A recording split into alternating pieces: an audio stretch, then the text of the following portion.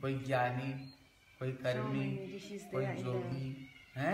सब अलग अलग अलग अलग ऋषि लोग वहाँ पर बैठे हुए इनका नाम है परीक्षित परीक्षित का मतलब क्या? एक अर्थ होता है देखते ही सबका मन की भावना जो समझ परीक्षित हाँ परीक्षित मतलब होता है देखते ही सबके हृदय की भावना को जो समझ जाए। इसका नाम एक परीक्षित उन्होंने देखा यहाँ पर तो अलग अलग लोग बैठे हुए कृष्ण बंसुरी बजाए और दूसरे दूसरे घर का स्त्रियों ने सब कृष्ण को पास ग्रास करने के लिए आए। इनके मन में शंका आ रही ये कृष्ण जगत में क्यों आए? बोले परित्राण आया साधु नाम। बिना साय च दुष्कृताम धर्म संस्थापनार्थाय संभवामी जुगे जुगे। भगवान इसलिए युग युग में आते हैं अधर्म को नष्ट करने के लिए धर्म को लेकिन उन्होंने तो धर्म। क्या स्थापना?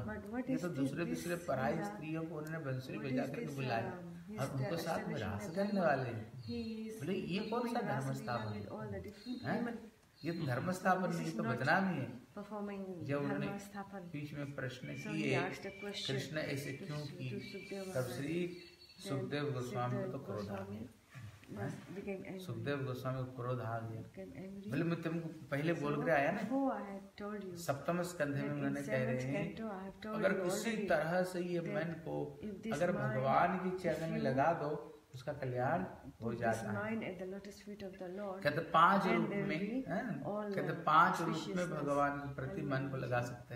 कहते काम को द्वारा किसने लगाया?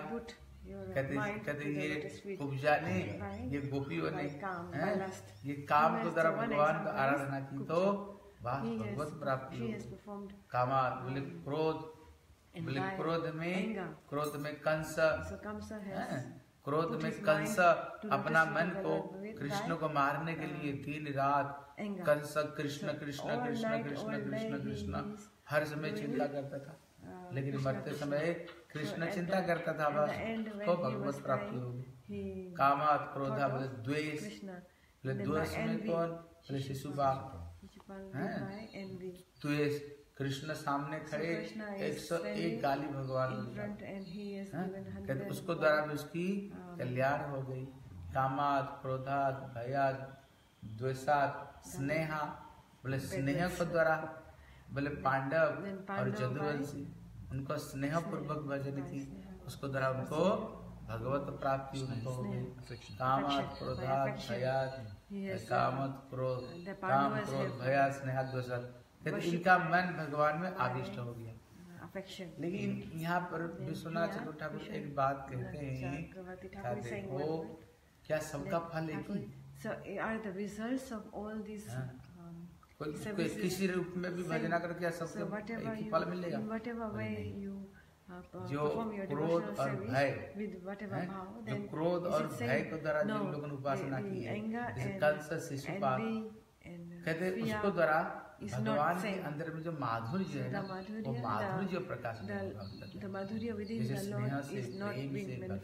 जैसे गोपियों को प्रति जैसे कृष्ण का प्रेम गोपियों की कृष्ण का जो माधुर्य प्रकट हुआ गोपियों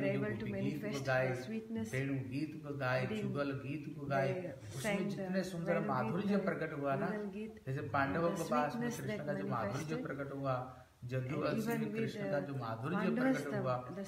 माधुर्य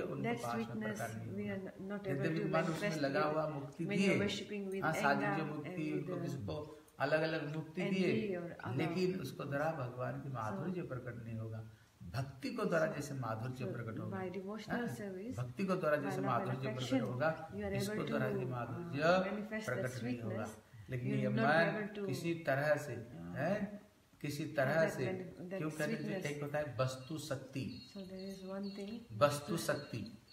वस्तु शक्ति। वस्तु शक्ति मतलब है जैसे आग है। लेकिन आपको पता नहीं जैसे छोटे बच्चा है उसको पता नहीं है आग। लेकिन अगर वो आग में हाथ लगाएगा आग क्या छोड़ देगी। आग नहीं छोड़ेगा आग उसको जलाएगा हाँ? आग उसको जला देगी। हाँ? जैसे जहर है बीज है।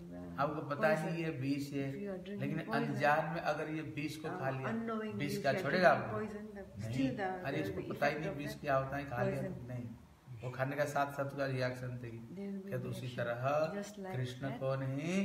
इतने चार कलापुर कृष्ण स्तु भगवान स्वयं। ईश्वर परम कृष्ण सचिदा नंद विग्रह अनादि आदि गोविंद सर्व कारण कारण। कृष्ण भगवान है।